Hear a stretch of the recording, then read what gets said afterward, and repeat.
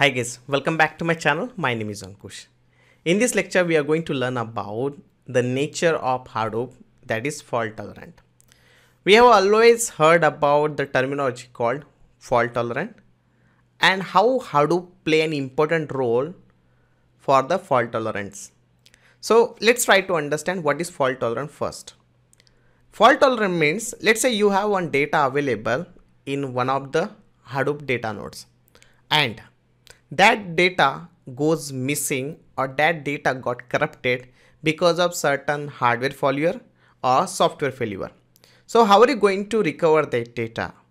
Whether that data will not be available anytime or is there any chances that we can get back that data and how it is happening in the Hadoop world?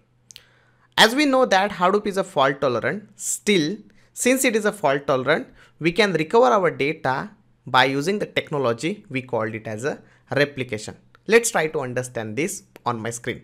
Before I go to my screen, if we are looking for Spark and Hadoop training, you can reach out to me and my channel is there where you have a lot of free contents are available. You can also learn from my channel. Please do like, subscribe and share this channel. And if you have any suggestions, any queries, you can put it into the comment section. Definitely I'll be creating more video based on that. If you like this video, you can share it with your friends. We know that Hadoop works in the master slave architecture. So on the top, we will have our name node and below that we will have our data nodes.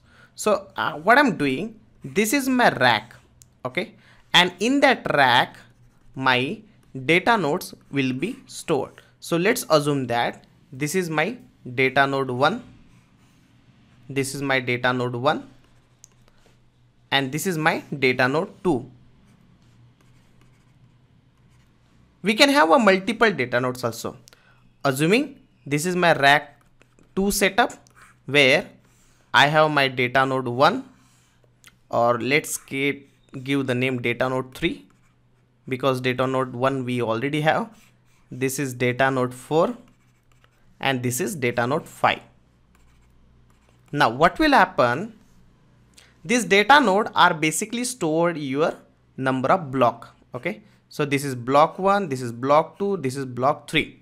And we know that Hadoop store the block size of 128 MB.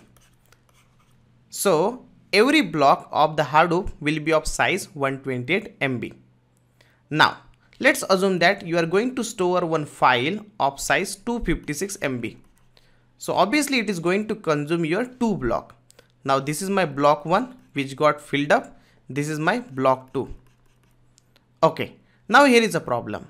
Let's say this data node one got corrupted because of certain failure. Basically internally these are the hard drive only. So there is a chances that your hard drive can be corrupted because of hardware failure. What will happen? All the data which is available in this data node 1 will be corrupted and you will not able to access this data. And again, your file will be gone. Now what will happen? Your Hadoop, basically your HDFS have the features we called it as a replication. By default, HDFS store three replicas. So whenever you are storing any file into the data node, a three replicas will be created. So this is your first replica, which is your original file then your second replica will be created here. Okay?